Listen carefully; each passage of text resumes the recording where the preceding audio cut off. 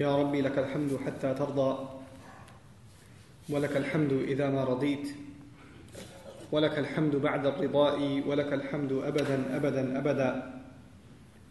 والحمد لله الذي أنزل على عبده الكتاب ولم يجعل له عوجا. والحمد لله الذي لم يتخذ ولدا ولم يكن له شريك في الملك ولم يكن له ولي من الذل وكبره تكبيرا. والحمد لله الذي نحمده ونستعينه ونستغفره ونؤمن به ونتوكل عليه ونعوذ بالله من شرور أنفسنا ومن سيئات أعمالنا. من يهد الله فلا مضل له ومن يضلل فلا هادي له. ونشهد أن لا إله إلا الله وحده لا شريك له. ونشهد أن محمدا عبد الله ورسوله. أرسله الله تعالى بالهدى ودين الحق. ليظهره على الدين كله وكفى بالله شهيدا. فصلى الله عليه وسلم تسليما كثيرا كثيرا. ثم أما بعد فإن أصدق الحديث كتاب الله وخير الهدي هدي محمد صلى الله عليه وسلم وإن شر الأمور محدثاتها وإن كل محدثة بدعة وكل بدعة ضلالة وكل ضلالة في النار. يقول سبحانه وتعالى في كتابه الكريم بعد أن أقول أعوذ بالله من الشيطان الرجيم. بسم الله الرحمن الرحيم. إذا جاءك المنافقون قالوا نشهد إنك لرسول الله. والله يعلم إنك لرسوله. والله يشهد إن المنافقين لكاذبون. اتخذوا أيمانهم جنة فصدوا عن سبيل الله. إنهم ساء ما كانوا يعملون. اللهم لا تجعلنا منهم. رب اشرح لي صدري ويسر لي امري واحلل عقدة من لساني يفقه قولي واللهم ثبتنا عند الموت بلا اله الا الله امين يا رب العالمين. When there's a serious disease outbreak, warnings are given out. And people are given any means possible, and they're reminded over and over again that you need to be careful. This is a dangerous disease. If you have the following symptoms, go see a physician. And there are alerts everywhere. I remember recently, because I used to travel a lot, you know, uh, when, when like the bird flu and swine flu and all this stuff was going around, at airports they'd have like free hand sanitizers and extra alerts, and if you're sneezing, don't travel, and this and that and the other depending on how serious a disease is, the more panicked a society is, it gets, and rightfully so. And if the disease is threatening, life threatening, then it's even more serious. Sometimes schools are shut down and people don't go to work. And even if they don't have those symptoms, if they don't actually have that disease, but they have even the most minor instances of that symptom, people start thinking maybe they have it and they start siding with caution. They get extra careful because I don't want to take any chances, you know? Maybe this is just a cold, or maybe this is that crazy, deadly disease that they're talking about all over the place. And obviously, this is a natural response in any society. But the disease that I wanted to, I, I wanted to introduce this khutbah this way because I want to talk to you about a disease. And this is a disease that the believer should be reminded of all the time. And it's a serious disease. And you know, as in, in medical terminology, like they say, some of the most serious conditions you can have is a heart condition. Well, the disease I want to talk to you about is actually a heart disease. And the Quranic term for it is nifaq. We commonly may have heard the term hypocrisy. Hypocrisy. It's a disease. And it's a very serious disease. And for any disease, you have a pathology. You have, well, first of all, you have what are the, you know, what are the consequences? How bad is it? So, what if somebody has hypocrisy? Well, how bad can it be? What are the consequences of this disease? Well, first, let's take a quick look at the consequences. Allah Azza wa tells us in the Quran, إِنَّ الْمُنَافِقِينَ فِي الدَّرْكِ الْأَسْفَلِ مِنَ النَّارِ the hypocrites, they're in the lowest pit in the hellfire.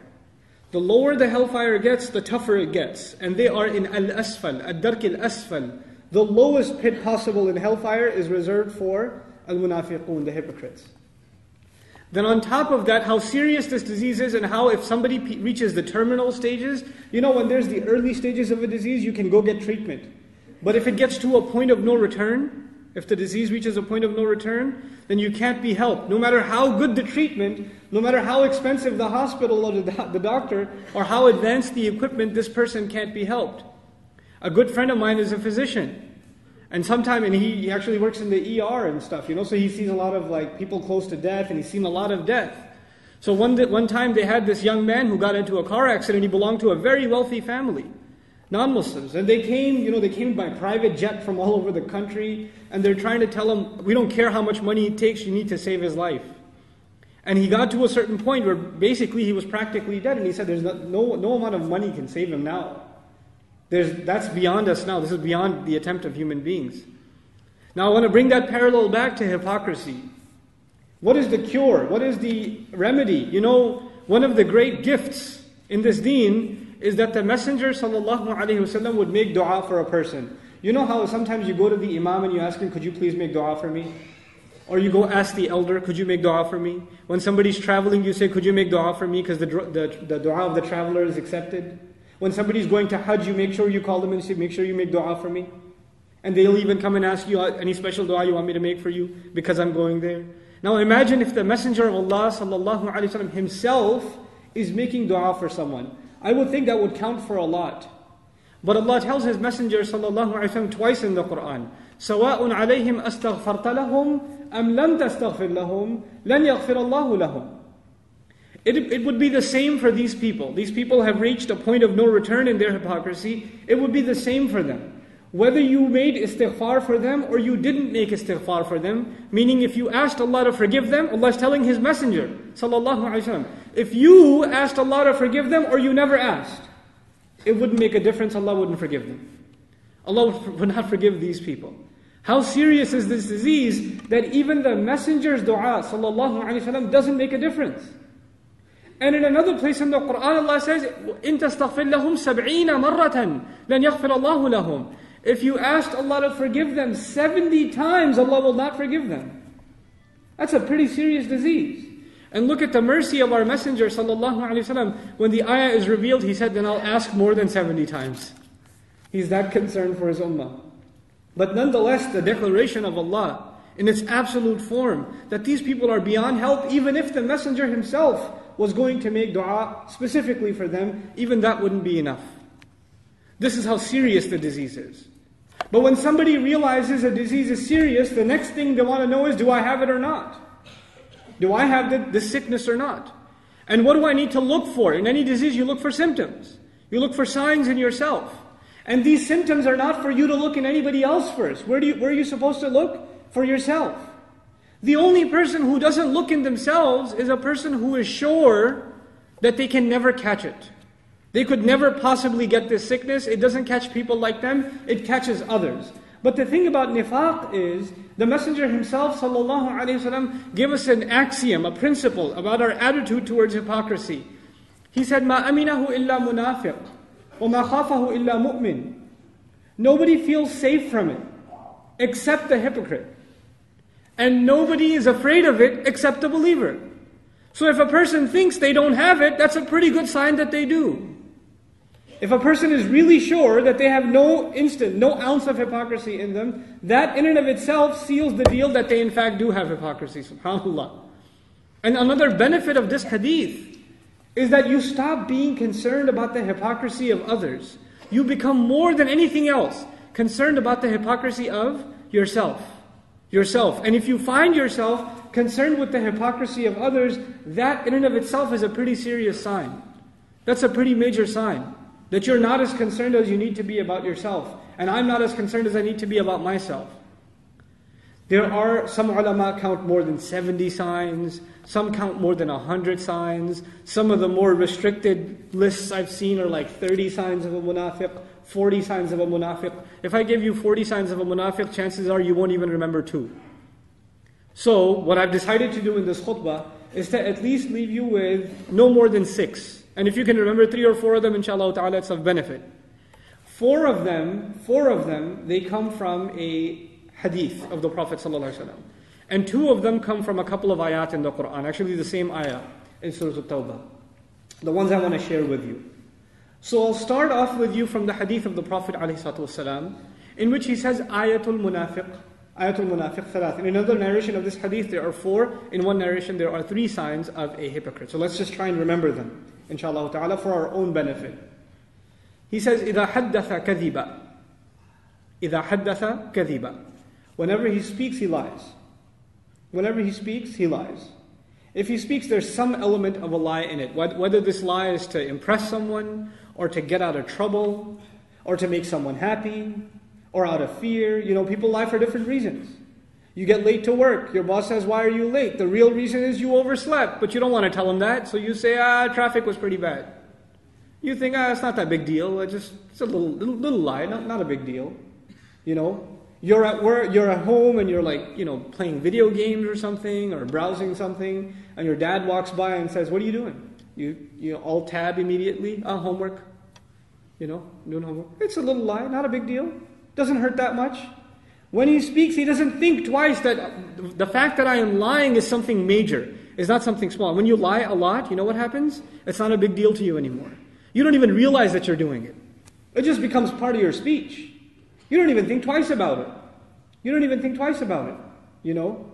Somebody's calling you on the phone, and you don't want to talk to them. You'd rather finish watching the movie. So you let them go to voicemail, then you send them a text message in a meeting. We'll call you back later. Right? Small, small lies. Not a big deal. You would think it's not a big deal. But as far as this hadith of the Prophet is concerned, sallallahu these little things, they can add up. And they can turn into a sign of hypocrisy. Now there are some instances in which, obviously there are exceptions. There are exceptions in which even the Messenger of Allah sallallahu has advised us to make the exception, and this is for the when there is no harm, like a, uh, or very specific instances. At least one instance I want to share with you: your wife made a meal for you, and you take the first bite, and it's the taste of death, right? But she and she asks you immediately, "How is it?" Well, at that point, it's okay for you to say, "It reminds me." It's not okay for you to say, "It reminds me of the day of judgment." You could just say, "It's good." Alhamdulillah. You could you could stay safe. And the safest answer in a situation like that is just say Alhamdulillah, because that could go either way. Right? So, don't say Inna lillahi wa inna ilayhi raji'un So, the idea is that you, you can't, you don't have to lie. But you can, you know, avoid hurting people's feelings in certain situations. But you know, you know yourself very, very well. When is it that you're using lying as a shield? And when is it that you're doing it for something good? You know that very well yourself. But this hadith is talking about people that are trying to protect themselves. They're trying to save their own skin. They're trying to get away from some obligation or get out of trouble or make someone happy for, for you know, unfair reasons. إِذَا حَدَّثَ كَذِبَ is the first. He says the second reason he says, or the second sign of the hypocrite, إِذَا خَاصَمَ فَجَرَ When he's debated with, when he argues with someone, we get into disagreements all the time. You can get into disagreements about little things or big things. You know, people get dis- into disagreements about which phone service is better or which new device is, uh, you know, a, a better product, or should you go PC or should you go Mac, or should you buy American or Japanese or German. People get into dumb arguments. But when you get into any discussion, any argument, whether it have to do with something trivial, or it may have to do with business or family, it may have to do with how you spend your time, whatever it may be, if you, it takes very little for you to explode and become overly angry, this, in and of itself, is a sign of hypocrisy. When he's argued with, when he's debated, when he's disagreed with, he explodes. Fajara, literally explodes. People are afraid to talk to him because he's like a walking time bomb. He could explode at any time. People know about this person, man, this guy or that one. He's got a temper. She's got a temper. I try to avoid talking to them because you never know when it's going to go off. I wouldn't want to be on their bad side. إِذَا خَاصَمَ فَجَرَ There's a second sign. And here specifically I want to highlight something. The hypocrites, if you, if you look at, if you study the attitudes of the hypocrites in the time of the Prophet, sallallahu alaihi wasallam, you learn some things. And one of the things you learn is, you know when they would get the most offended? When something was said to them that was supposed to be good advice.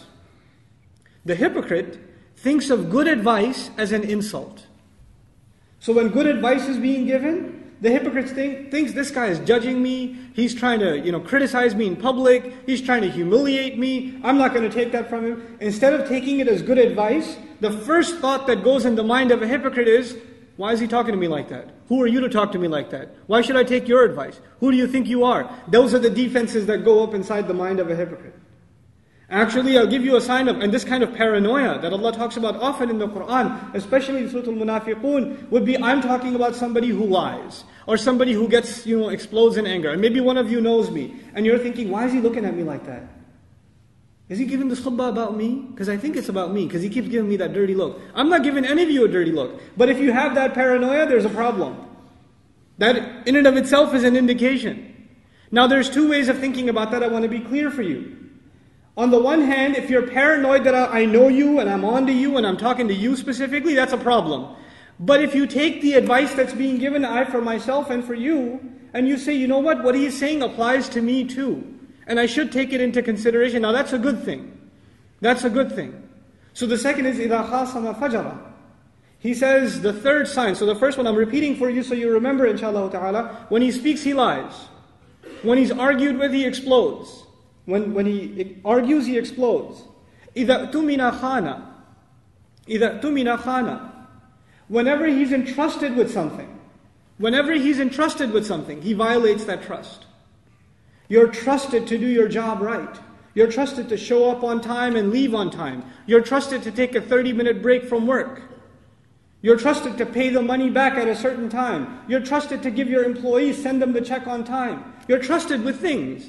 You're trusted with things around the house. You're trusted with things at your work, at your business. You're trusted with things within the family. You're trusted with things. There's a trust between a student and a teacher. There's a trust between an employer and an employee. There's trust.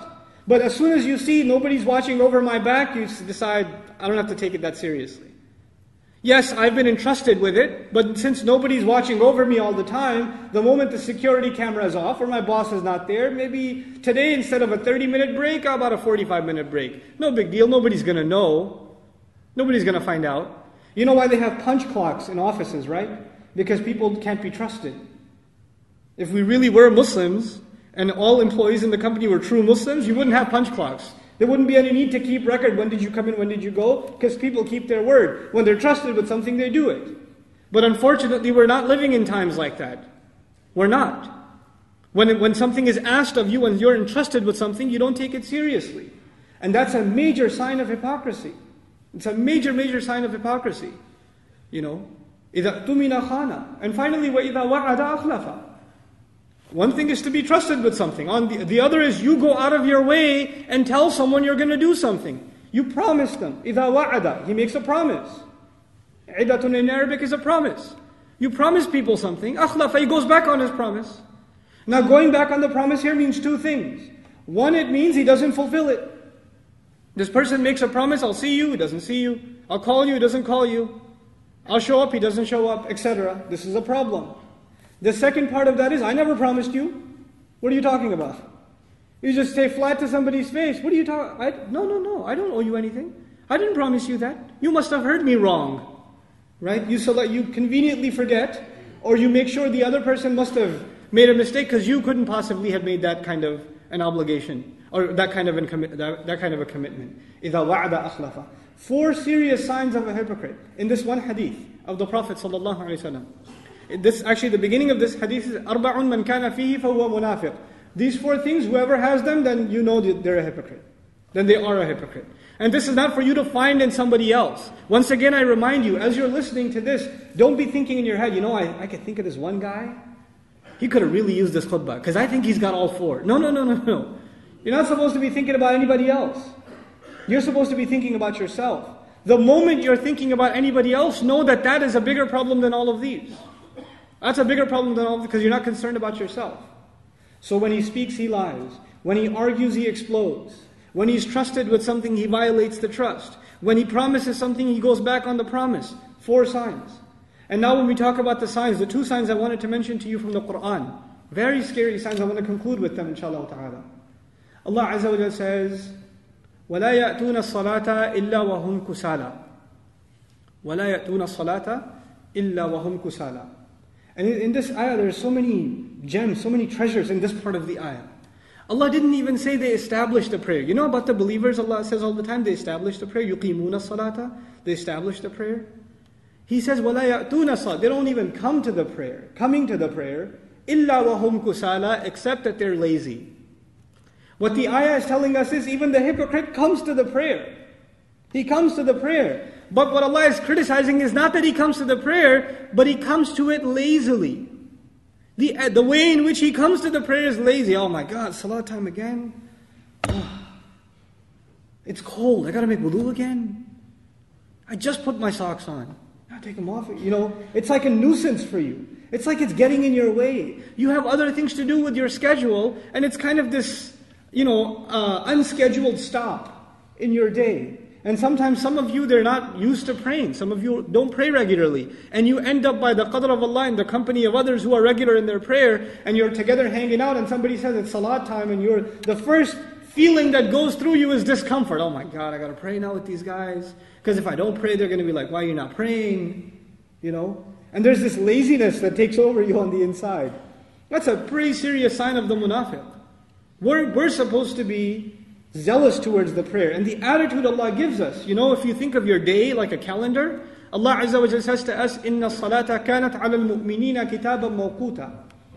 Allah says the prayer has been declared over the believers as a law that keeps their time. In other words, the, the, the calendar of a Muslim is based on the salah. I'll see you at Asr time. I'll see you right before Dhuhr time. We'll pray together. Let's have a meeting after Maghrib. Our calendar, our schedule is Salat. All the other activities we do are secondary. They can move. Like you know, in a house, my teacher used to give the example. In a house, you have a, you have pillars. You can move the furniture. What can you never move?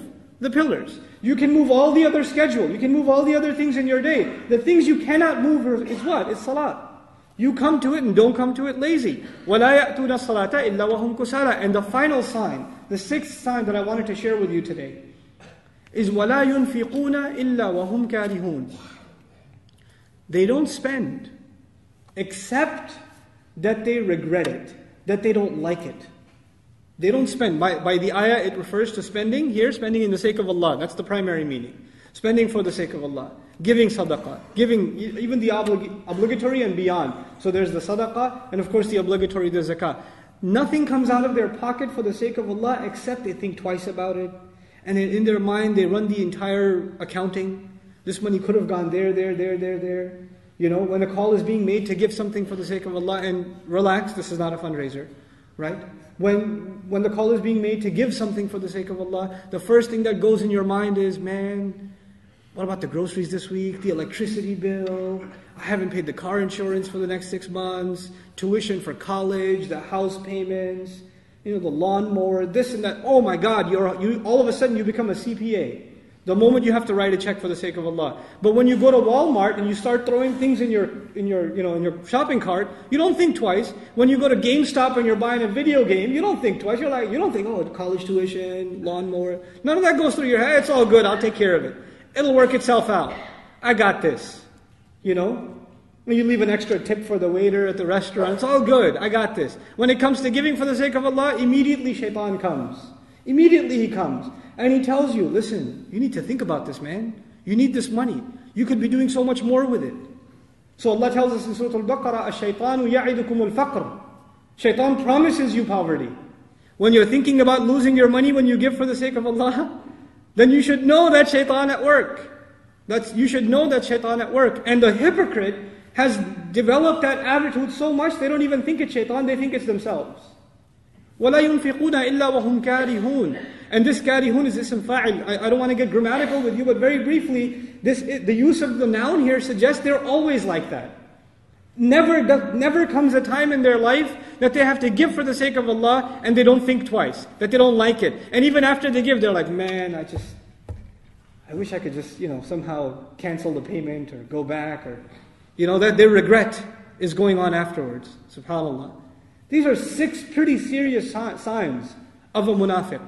And I told you in the beginning, in the beginning I told you the consequences of this disease, right? I told you that they're in the lowest pit of the fire, and even the Prophet asking for forgiveness wouldn't, wouldn't be enough for them. Sallallahu Alaihi Wasallam. But in the end, I want to leave you with one of the other consequences of hypocrisy. That doesn't happen in the akhirah, it happens in the dunya. It doesn't happen in the next life, it happens in this life. This is something Allah tells His Messenger too, sallallahu alayhi wasallam in Surah At-Tawbah. He says, فَلَا تُعْجِبْكَ أَمْوَالُهُمْ وَلَا أَوْلَادُهُمْ إنما يريد الله ليعذبهم بها ليعذبهم بها Allah says, don't be impressed. He, he tells his messenger, don't be impressed with their money and don't be impressed with their kids. Because for a hypocrite, all they figure is, I'm going to keep this money for what? For, my, for myself my building my assets, and I'm going to put my kids through a good school, and I'm going to give them a good career, etc. And even here, when we say um, awladuhum, it's not like it's bad for you to take care of your kids, but when you only worry about the dunya of your kids, and none, never the thought crossed in your mind that I should be giving these children, like Ibrahim gave his children, some concern about where, where they're going to end up, how they're going to raise a family of their own, an ethical character. I shouldn't give them, I just need to give them a good education. Allah says about them, don't be impressed with them. Allah only intends to torture them by means of it. By means of what? Their money and their children. Torture them by means of their money and their children in this world. In this world. I've met people that came to this country, good Muslims, Good Muslims, when they came to this country, the doors to the haram are wide open and the halal option is really small and it's far away. So they chose to make some compromises in their life. And they chose to become people that don't care, care too much about salah and don't care too much about giving. And they just became self indulged. And then they became very successful in their businesses and they put their kids through colleges, very good colleges. And you know what? These are the same people sitting in the audience, sometimes they're crying because they're saying, What have I done with my kids? They don't even talk to me. Forget talking to Allah, they don't even talk to me. They don't even look back. I, I gave my life for them. I gave everything for them. I worked in grocery stores and I drove a cab and I did all this stuff for them. The only thing I didn't give them is deen. And look what happened. Now, that same money that I exhausted my youth to save for them, the money's become a source of torture and they've become a source of torture for me. That's all they've become. There's a punishment of Allah in this dunya. I've seen it with so many people, the sadness in their eyes when they talk about their children. Wallahi. Wealthy families. I go, mashallah, alhamdulillah, I, I'm grateful that I have the opportunity to go to many communities across the country. I meet these people. They're so wealthy. They're so well off. Their children are, went to the best schools. They're lawyers and engineers and doctors. They're working in high branches of government, etc. And yet they say, my, my son, you know, he doesn't talk to me. What should I do? You know, what can I do? And, and if you just sit there and, and ask, how were you raising your children? What kind of life were you living? When did you start coming to the masjid to begin with, even for Jum'ah? You'll find some really interesting answers. You know? And people don't make the connection.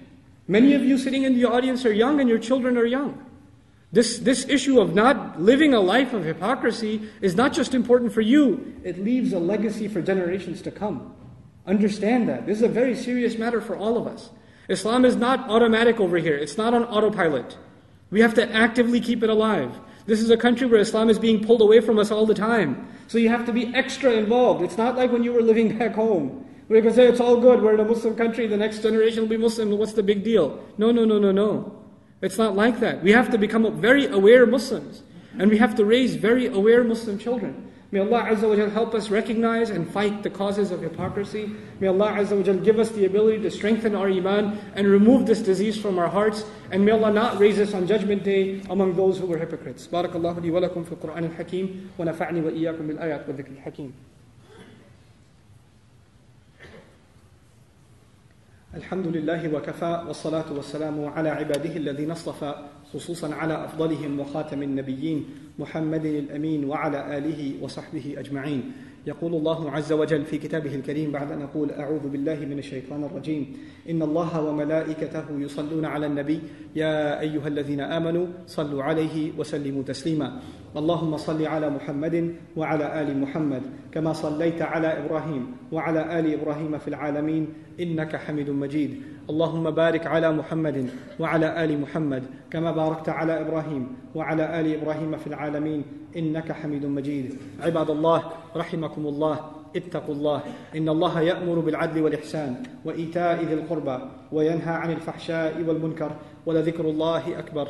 والله يعلم ما تصنعون. أقم الصلاة. إن الصلاة كانت على المؤمنين كتابا موقوتا.